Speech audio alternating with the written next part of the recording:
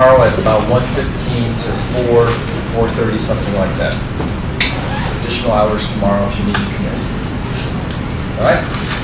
So Pass that along, please. All right, today is uh, kind of wrapping up the central limit theorem. I'm going to do a couple examples, then I'll hand out a worksheet. I have uh, one or two bonus problems. What I often do with worksheets while you're working on those, some of you tend to get done faster than the others, that's, that's fine. But if you get done faster, you're still going to do statistics on the bonus problem, either on the up here displayed or on a handout. And if you correctly get the bonus problem, then you earn points for everyone on the next quiz. Oh, I got your attention there. Hmm. So the eyes wandering around all of a sudden, the points are for the whole class. All right, a little bit of review. Central limit theorem. Ed Wicks, what are some of the remarkable, amazing things about the central limit theorem that just got you so excited and enthused? it? that, like, even if you have a uh, uniform distribution, you take a certain amount of samples and get a mean of them, you still get a Well done. It doesn't matter where I start out, the distribution I'm sampling from. My sampling distribution of the sample means, you have to put all those words together, approaches a normal distribution. And if you're calling that a Java applet ID, we started out with uniform that looked like a box, shoebox, we had skewed, we had bimodal. We always end up with, or we approach, a normal distribution. What's another really amazing, wonderful thing that the central limit theorem tells us?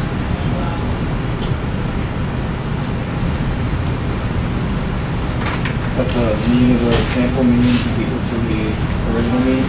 The mean of the sample means is equal to the mean of the, uh, the population, right? Which we had hoped, that makes sense. And along that lines, I'll write that up here, how we say that. What other amazing thing? We say mu of x bar is equal to mu. Uh, What else do we know? Go ahead, Van Um, Van Zandt, yes. Isn't it, uh, theta is standard, is standard deviation? Okay, that would be sigma. Sigma, sorry.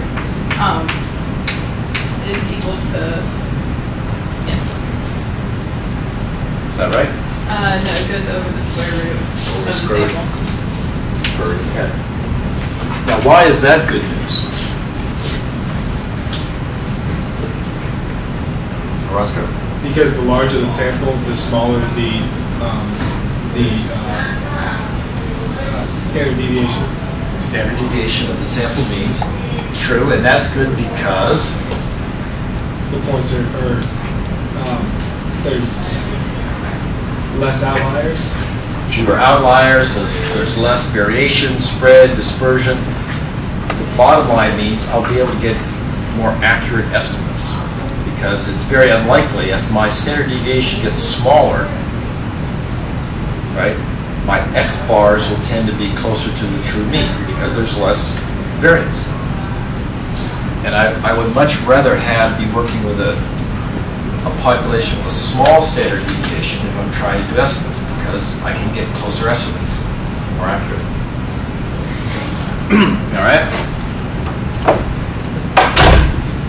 Now, when can I use the central limit theorem? I'm not sure I went over this slide or not, I think I talked about it. This is important stuff, hint, hint, all right? These are just the kind of questions that often appear in, appear in multiple choice questions. And that's because they're really important. When do I use, or when am I, when can I safely use the results of the central limit theorem? Well, if the population is not normal, or if you don't know the distribution of the, the population you're sampling from, then you want to make sure your sample size n is greater than 30. And that's a good rule of thumb. That's not a, no mathematical proof that says it's exactly 30. That's just practical experience over hundreds of years. except for most pathological distributions, a sample size 30 gets you close to a normal distribution. Your distribution of the sample means will be close to normal distribution. So when you use the normal distribution to calculate probabilities, you won't be off by much. The population is not normal, or if the population is normal, excuse me, if you have reason to believe it's normal, or you're told you can assume it's normal, then the sample size really doesn't matter. It's a pretty simple exercise to prove. If we had the calculus that the distribution of the sample means is always normal if the population you're sampling from is normal. So these two rules, either n greater than 30 if I know nothing about distribution of the, what I'm, from which I'm sampling, or if I know it's not normal, I gotta have an n greater than 30. But if it is normal, then any, any sample size will do. And kind of converse of that is, if you're sampling from a distribution that's not normal, and n is less than 30, stop. Don't use these techniques. Because you haven't approached close enough to a normal distribution, and we can't guarantee the results you're gonna get will be accurate. All right? So keep that in mind, important stuff.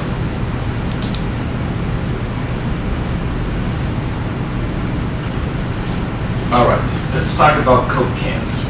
Let's do a problem here. Chairman of Coca-Cola called me and wanted some statistical consultancy. So I said, I'll take this to my class, my 106 class. Coke maintains that their cans are filled with 12 ounces. And the chairman wanted me to say, do an experiment and to verify that that's true. That on average, there's 12 ounces of Coke in a can. So we took a sample size of uh, 36 and I calculated a sample mean and that was 12.19 ounces.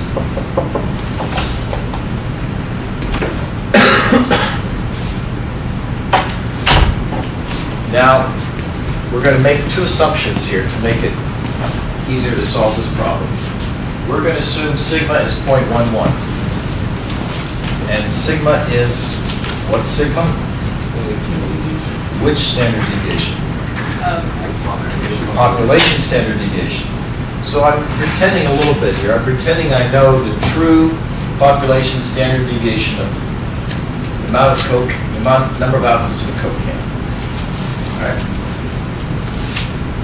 And now the question is, with this data, what do we tell the chairman of Coca-Cola? That they were actually going to How do you know that? Because the sample size was larger? You mean? Yes. Yes? Yes.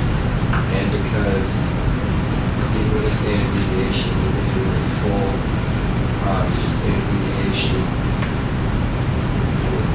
closer to 12, said, it's still above 12, so you have to wait for more than the full scope deviation numbers. That's a long variance. So it's more likely that it would be like 12, 19, maybe a little higher than Good job of using statistical reasoning, and we're going to be more precise here in just a minute. But here's the, here's the kind of reasoning we're going to introduce today, and we'll be using this in chapters 7 through 11. All right? We have a sample. And the sample says it was 12.19. So let's start putting some labels to these numbers.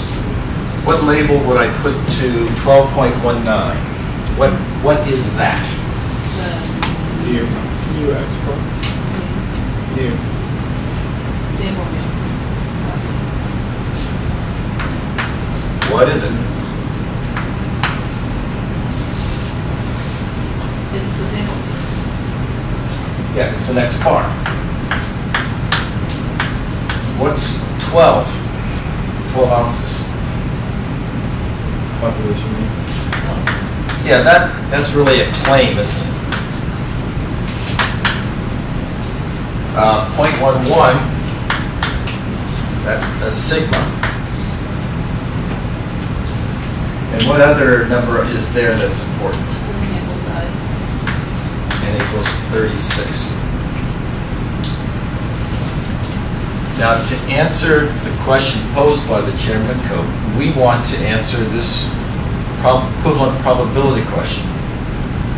If Coke cans really are, on average, if the population mean really is 12 ounces, how likely is it that I would randomly select 36 cans and have their mean weight, their mean number of ounces to be 12.19? Follow that reasoning? It starts out with an assumption. 12 ounces in a can, that's the mean. Then we have a piece of information. All right, I took 36, assume it random, I got that sample mean. If this is an unusual result, then it's not likely I'm going to believe that. But if it's not an unusual result, then I report back, well, I don't think there really are 12 ounces on a can on average. So how would we come up with a firm number for the chairman on exactly that probability? Well, what am I studying? I'm studying X bar, the mean weight, no, not weight, mean number of ounces in 36 cans.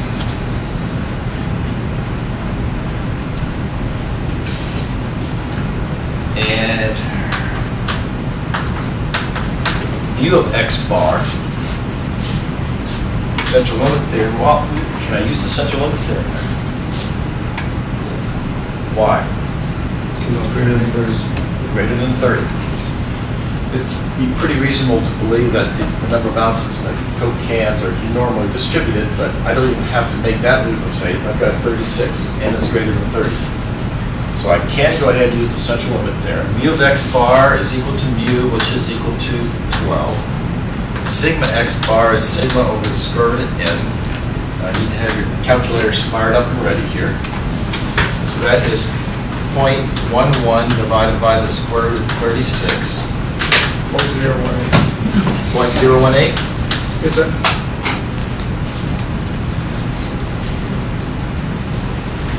Now, help me draw the graph that corresponds to the question I posed. How would I draw in a shaded area here that corresponds to this problem? What am I looking for? Uh, from twelve on. 12 on? Not quite.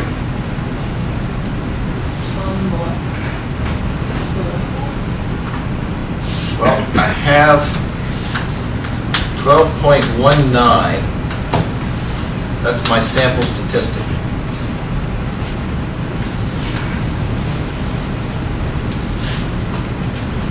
And I would like to know, how likely is it that I would get a sample of 36 Coke cans that had a mean number of ounces of 12.19? Is that unusual, or would I expect it, or is it relatively rare? Do you agree that that shaded area is a probability that would represent the probability of getting 36 Coke cans with a mean number of ounces of 12.19, assuming that the mean for a single can is 12 and the standard deviation for a single can is 0.11? Agreed? Well, then if you agree that this is easy, what's that probability? It's normal CDF, left, right, mu sigma. So start putting these in. 12.19, I use 0.018, or no, oh, sorry, sorry, E99. Mu is 12, and sigma is 0.018. And what number do you get? Four point two percent. Four point two? Yeah. Check that again.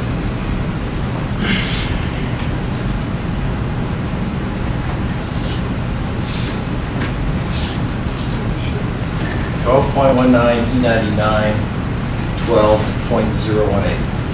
Uh, point one four five. Say that again? Point one four five.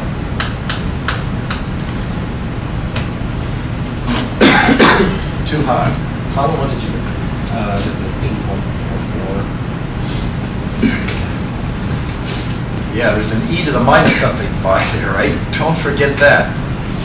It's go ahead, and say it, 2.4 e to the, negative twenty-six. remember on your, on your calculators, when you see the result of the normal CDF, that's a probability, so it has to be less than 1. And I, I see this every semester, so don't be one of the cadets that make this mistake. They'll see a 2.4 and just write that down. That can't be right. You tell me the probability is 2.4? No, not gonna happen. You need to read all the way to the right. 2.4 e to the minus 26. Okay, that's a number out of the calculator, that's a probability. What does that number mean? I'm gonna be asking this question a lot this semester. I know you can use calculators. Can you tell me what the number means? Yes, It's unusual. what is unusual? Uh, probability of getting. Yeah. Go ahead, you're on the right trail. It's unlikely. Yeah, it's not unusual. It's unlikely. It's, it's unlikely, it's rare, it's gonna happen, I don't know what that number is, but that's a tiny number. All right? But let's complete this. Now, you're briefing the chairman of Coca-Cola. What are you going to, how are you gonna summarize your result in one sentence? Use a couple sentences. How would you explain this number? Galvez?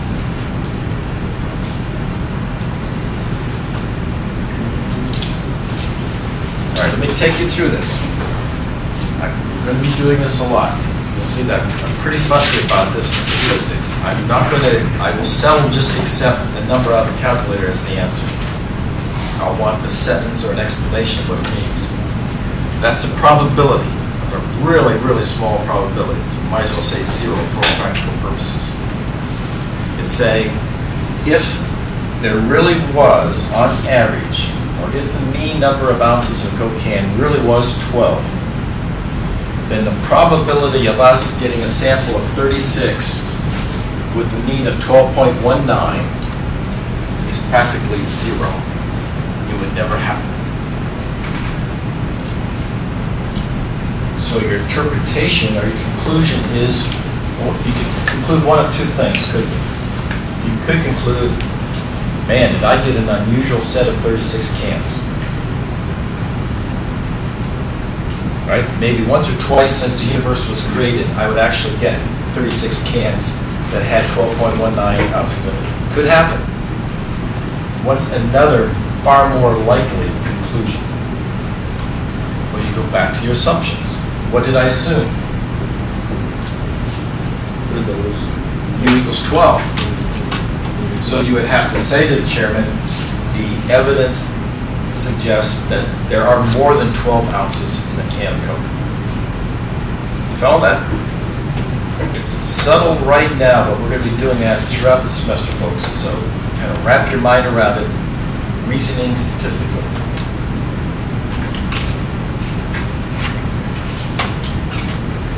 Okay. Let's do another problem to demonstrate the power of the central limit theorem. I want you to read that.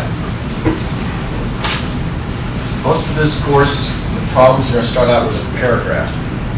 And the skill I want you to start practicing now is read the paragraph. Every number there has to have a symbol that means something read the paragraph carefully, and then we're going to translate those numbers into the correct statistical symbols.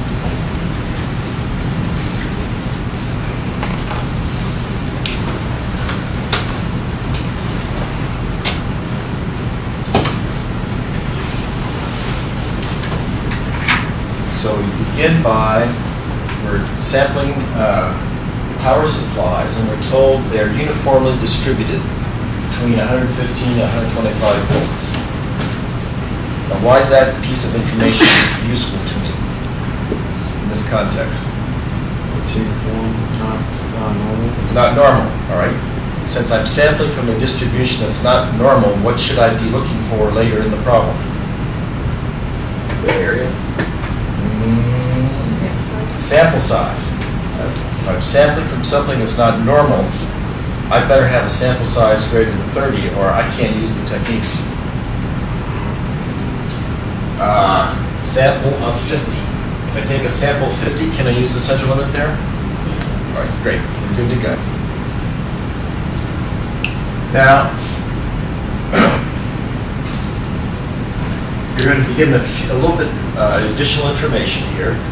For a uniform distribution, I'm telling you that the mean and the standard deviation are given by those formulas. I wouldn't expect you to know those, but you're given that. And B and A, well, in this case, 115 is A, and 125 is B. And we want to know the probability, if I take 40 of those power supplies and calculate the mean voltage, what's the probability that it will be greater than 122? How could I do that?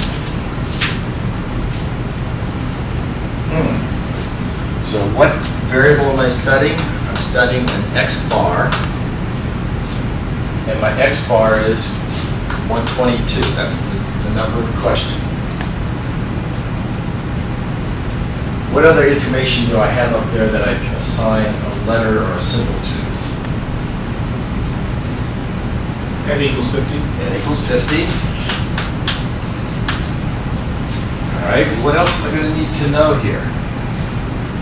Yeah. B and A. A, Okay, you got B is 125, so A is 115. When I work these kind of problems, I need to know a couple other things. Where you find your mean? I need a mu. What is mu? Uh, that would be 125 plus 115 divided by 2. Here's my formula for mu. And that's going to be 20. I need a sigma. Where's my sigma? It's going to be one twenty-five minus one fifteen. Not bad, square. Okay, someone tell me what that number is.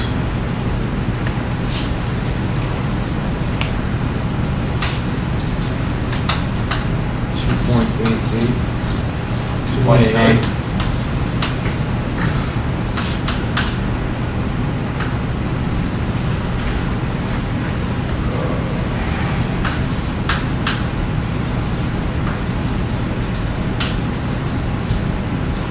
stop and think about our situation.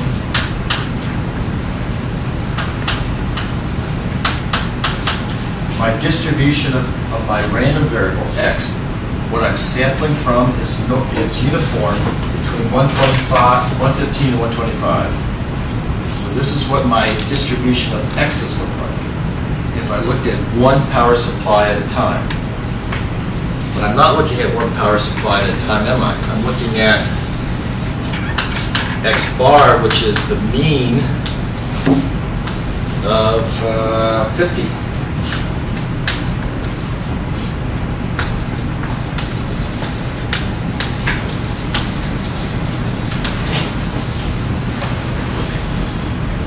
I've determined I can use the central limit theorem. So what are the next two pieces of information I can derive, given what I know already? Things that I'm going to need to calculate a probability. Roscoe? U of x bar. I need a mu of x bar because that's what I'm studying over here. Right? Well, mu of x bar is equal to mu, which is equal to 120. I'll need a sigma x bar, which is sigma over the square root of n. Sigma is 2.88. Square root of n is the square root of 50. All right, someone tell me what that is. 2.88 over the square root of 50.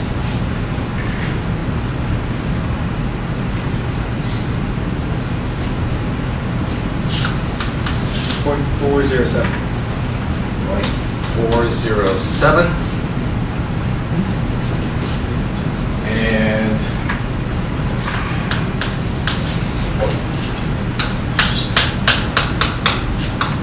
This shaded area represents the probability that X bar would be greater than or equal to 122.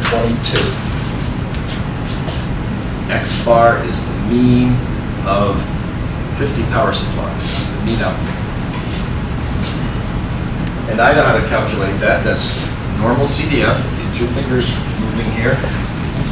Normal CDF, left, right, mu sigma. But remember, it's mu of x bar and sigma x bar that we're using.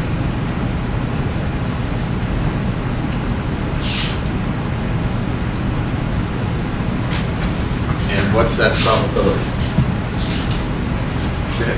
Uh, four point four times ten to the negative seven. 4.4 e minus 7. Guess I don't have that written down here. So the rest of you got? So I did that example, Kedwix. Stay with us. So I'm gonna get better. I provided this example explicitly so you'd see I can start out with a distribution that's not normal, a uniform distribution. Uniform distribution was my sample, what I'm sampling from.